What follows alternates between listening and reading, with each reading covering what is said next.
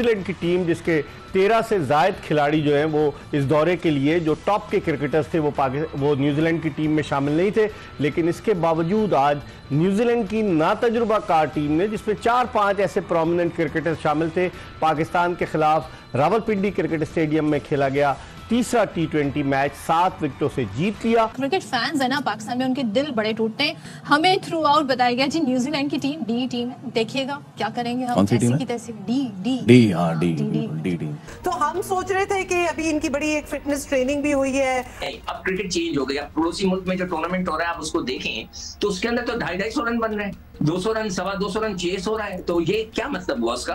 कि क्रिकेट खेलने का अंदाज जो है वो बदलता चला गया है और आपको उसको एडॉप्ट करना पड़ेगा। अल्लाह का शुक्र है साजिद साहब मुझे ये बताएगा कि क्या हुआ, बहुत ज़्यादा ज़ाहिर है जो फैंस है क्रिकेट के वो बड़े मायूस भी हुए हैं कि न्यूजीलैंड की एफ़ टीम थी जेड टीम थी उससे हमारी ए टीम हार गई। जिस तरह कीवीज ने शाहीनों को काबू, काबू किया, किया। सात विकेट से फतह हासिल की और अभी सीरीज़ फ़िलहाल एक एक से बराबर है। पाकिस्तान क्रिकेट टीम को आईपीएल से सीखना चाहिए। आईपीएल में बैटिंग पावर में 120 125 रन बन रहे हैं। वो पाकिस्तान क्रिकेट टीम 170 रन बना रही है। बड़े अफसोस से कहना पड़ता मुझे यही डर लग रहा है कि मैच जब हम हारते हैं ना हम पैनिक कर जाते हैं। और डी टीम के साथ आप खेल रहे हैं तो खुदारा कुछ तो अपनी परफॉर्मेंस ऐसी दिखाएँ कि हम ये कह चले मुकाबला तो खूब किया दिले ना चले तो आपने बहुत डांट दिया। आज आपने टीम को बहुत डांट दिया बस। सी टीम के खिलाफ जो चौदह खिलाड़ी उनके आईपीएल में खेल रहे हों और एक ऐसी टीम ने आके सीरीज़ जीत ली मैं तो सीरीज़ कहूँगा ये सीरीज़ जीती है न्यूजीलैंड जो आउटस्टैंडिंग जो मैच जीत अनफॉर्चुनेटली हराने के लिए रिग्रेटेबली पहले दिन हम्म। मैंने राशिद को फ़ोन करके कहा था मैंने जब इनको देखा न्यूजीलैंड की टीम को मैं कहा ये they don't belong to international cricket ये तो साढ़े चार बंदों की टीम है। हम्म। इसमें एक माइकल ब्रेसवेल है जिसकी अपनी जगह नहीं होती मेन टीम में जो कप्तानी कर रहे हैं। एक इसमें टिम साइफेट है। हाँ। एक इसमें मार्क चैपमैन है जो हमें धो के चले जाते हैं एक सौ बयालीस के बिल्कुल फिर धोया स्ट्राइक रेट से उसने कोई साढ़े चार सौ रन कर दिए। B team Z team X team Q team भाई उन्होंने आपको अगर आपने वन साइडेड हराया ना उन्होंने बता दिया आज है आज आप भी आप अट्ठारह चार या दो गेंदों पर आपको भी हमने बता दिया कि हम जैसे भी है ना ये रहा हमारा स्टैंडर्ड आप अपनी बेस्ट अलेवन खिला रहे हैं? हाँ। वो बोल सकते हैं कि हम बाकी हम लेके आए हमारे बेस्ट अवेलेबल प्लेयर नहीं थे मगर जो थे हम लेके आए और हमने आपको मैच मार अब आप सीरीज़ पे आ गए हो।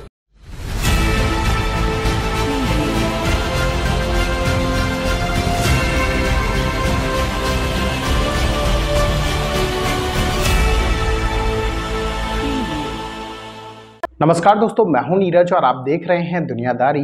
दोस्तों, ये बात तो हम सभी जानते हैं कि न्यूजीलैंड की टीम ने कल पाकिस्तान को सात विकेट से तीसरे टी मैच में मात दे दी है। बताते चले कि जब न्यूजीलैंड की टीम पाकिस्तान दौरे पर आई थी, तब सब यह कह रहे थे कि न्यूजीलैंड की यह सी टीम है। बताते चले कि न्यूजीलैंड की उसी सी टीम ने पाकिस्तान की टॉप टीम को, बताते चले कि न्यूजीलैंड की उसी सी टीम ने, बताते चले कि न्यूजीलैंड की उसी सी टीम ने पाकिस्तान के सुपरस्टार से भरी टीम को बताते चले कि न्यूजीलैंड की उसी सी टीम ने पाकिस्तान को उसी के ग्राउंड में ही मात दे दी है। पाकिस्तानी टीम की इस खराब परफॉर्मेंस के बाद एक बार फिर से पाकिस्तानी मीडिया का रोना शुरू हो गया है। पाकिस्तानी मीडिया ने कहा कि पिछले सात आठ महीनों से हमारी टीम की परफॉर्मेंस इतनी गंदी हो चुकी है कि हम छोटी छोटी टीमों से भी हार रहे हैं।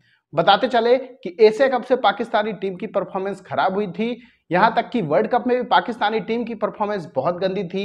ऑस्ट्रेलिया टूर में भी पाकिस्तानी टीम की परफॉर्मेंस बहुत गंदी रही। इसके बाद जब पाकिस्तानी टीम न्यूजीलैंड के दौरे पर गई तो वहाँ भी पाकिस्तानी टीम को हार का सामना करना पड़ा।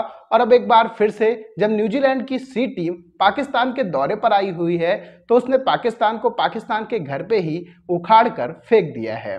तो दोस्तों आइए चलते और देखते हैं कि पाकिस्तानी मीडिया ने पाकिस्तानी टीम को मिली इस खतरनाक हार को लेकर क्या कहा है। शुक्र है साजिद साहब मुझे ये बताएगा कि क्या हुआ? बहुत ज़्यादा ज़ाहिर है जो फैंस है क्रिकेट के, वो बड़े मायूस भी हुए हैं और बातें भी बना रहे हैं कि न्यूजीलैंड की एफ़ टीम थी जेड टीम थी, उससे हमारी ए टीम हार गई।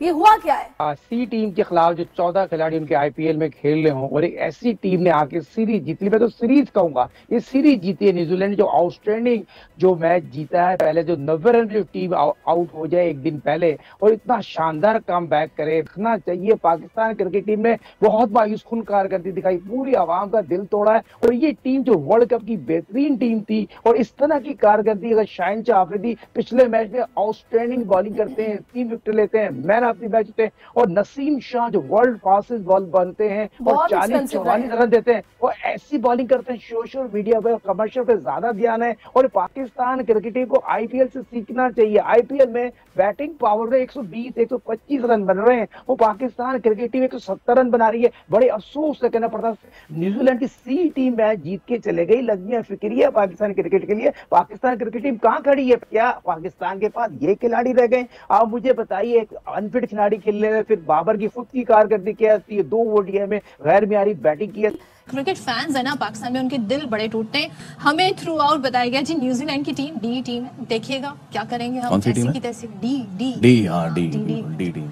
और लेकिन और हमारी टीम में माशाल्लाह कौन कौन से स्टार नहीं है? बाबर हैं आमिर भी थे और साथ ही रिजवान है। कल रिजवान बैटिंग कर रहे थे फिर वो इंजर्ड होके बाहर चले गए। टी ट्वेंटी मैच है ये। हाँ। उसमें वो जख्मियों के बाहर चले गए। आप काकूल से तो क्या दुनिया की किसी भी अकेडमी से आप इनकी ट्रेनिंग करवा दें? मुझे लगता है मोहम्मद रिजवान का लुढ़कना फिसलना फिसल के लुढ़कना वो कभी खत्म नहीं होगा। वो मतलब वो हालाँकि वो खुद भी इसको कह चुके कि मैं थोड़े थोड़ा तो एक्टिंग करता हूँ। लेकिन भाई क्रैम्स वाली है। लेकिन कल टी मैच में भी क्रैम्प पड़ गया। तो दोस्तों, जैसे कि वीडियो में आपने देखा कि एक बार फिर से पाकिस्तानी मीडिया का रोना शुरू हो गया है। पाकिस्तानी मीडिया ने कहा कि केवल पाकिस्तान टीम ही ऐसी है जिसमें हर छह महीने में कैप्टन चेंज हो जाते हैं।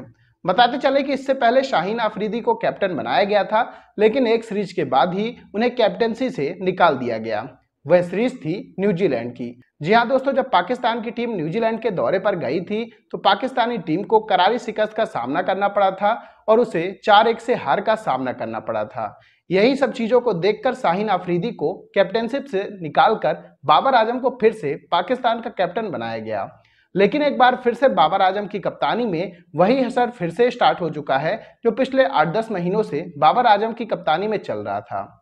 बताते चले कि पाकिस्तान की टीम के जो प्लेयर हैं, वो छोटी छोटी टीमों के अगेंस्ट रन बनाकर खुद को सुपरस्टार मानने लगते हैं या यूँ कहें कि आईसीसी रैंकिंग में पहुँच जाते हैं। लेकिन जब भी उनका बड़ी टीमों से मुकाबला होता है तो वह पूरी तरीके से फ्लॉप हो जाते हैं। हालाँकि न्यूजीलैंड की ये तो सी टीम थी, लेकिन इसके सामने भी पाकिस्तानी बल्लेबाज और पाकिस्तानी गेंदबाज पूरी तरीके से ढेर हो गए हैं।